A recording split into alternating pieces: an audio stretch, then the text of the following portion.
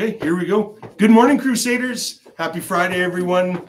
Um, we are going to get our day going here. So uh, we've got uh, a couple grade six students here ready to lead us in prayer. So I'm going to ask you to please stand, face your prayer centers, and ready yourself to join in.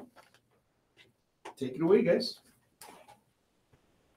In the name of the Father and the Son and the Holy Spirit. Holy Father, we pray to you. We we pray we pray we always think always thankful for our families, for the food and we have shelter that keeps us safe and warm. We are so thankful for the amazing environment and the beautiful country that we share with you. Also, we pray for the homeless and they find job and re, re, reconnect with their with their families. For those who struggle with addiction, we pray and we pray for them to get help and the support we, they need. We want to let students with depression and anxiety know that they are welcome and we care for them.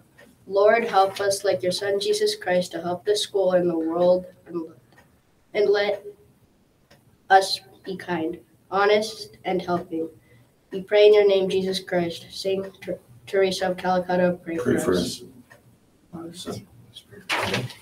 Awesome. Thanks a lot, guys. Really appreciate it. Good stuff. All right. Before I get started with my announcements, uh, we have another couple students here. Our Kindness Crusaders is getting up and running for the year. And so we have a couple people here with a special message. Here we go. Hi, my name is Sayla. And my name is Gracelyn. We're part of the Kindness Crusaders. October is Child Abuse Prevention Month in recognition of the one in three Canadians who have experienced a form of child abuse.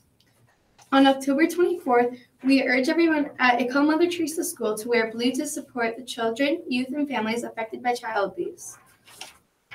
This month's focus is integrity. I'm sure you've noticed the integrity poster around your class or the school. We would like to explain why they're there.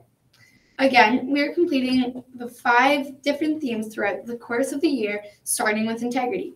The other kindness pillar themes we will explore later are responsibility, courage, caring, and inclusiveness. However, the next several months of our focus will be on integrity and how it connects to the familiar concept of honesty. Think back to our definition of integrity doing what you know to be right and being kind in all situations. What are some examples within your day to day activities that, that this might be challenging? Thank you for your time and have a great Friday. Awesome. Thank you so much. Kindness Crusaders leading the way for us here. Much appreciated. Have a great day, guys. Okay.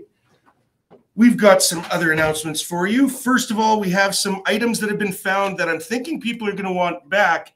All right. Got a calculator here that was found that's going to be useful to whoever lost it. So make sure you come to the office, as well as a pair of glasses. Okay, guys. So make sure that uh, if those are yours, you come to the office to claim them so that you have what you need, okay?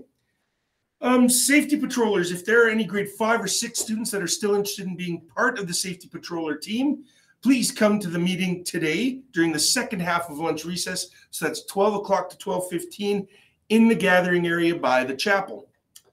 Green Team Garden Club meeting, okay, that'll be today in Mrs. Cunningham's room, which is room 302 at 12 o'clock. New members are welcome, so please join in if you're feeling it, guys, okay? Junior girls volleyball is canceled today as Miss File and Miss Glover are both away. Grade six band celebration. Our, our baby band concert was a huge success. Congratulations to all the grade six band students who came out and worked really hard to show off for your parents. Miss Clausen is so thrilled with your performance, and we're all very proud of all the hard work you guys are doing. So great job, everyone. Senior girls volleyball. Congratulations to the senior girls volleyball team for showing awesome sportsmanship and transitional play during their match against Koinonia last night. They defeated Koinonia in three sets. Well done, Crusaders. Little Mermaid rehearsal after school on Monday. There will be a rehearsal on Monday, October 24th, in the music room for all grade sixes and any seven to nines who are able to join. Rehearsal begins at 3:30 and ends at 5. We will be helping the grade sixes learn Under the Sea and Kiss the Girl, and we'll hopefully start the choreography for Kiss the Girl. It would be much appreciated to have as many seven to nines there as possible so our songs can have that big cast feel. Thank you in advance. Okay, uh, that brings me to the end of announcements. We do have a couple birthdays to celebrate. All right. Today, happy birthday to Lucas K in 5-3. We hope you have an awesome Friday birthday. And a weekend birthday tomorrow. Happy birthday to McCray or McCullum M in 7-1. McCullum, have a great weekend birthday, okay? All right, with that, um, we have O Canada that's going to play here shortly. So I'm going to sign off. Go and make it a great day, everyone.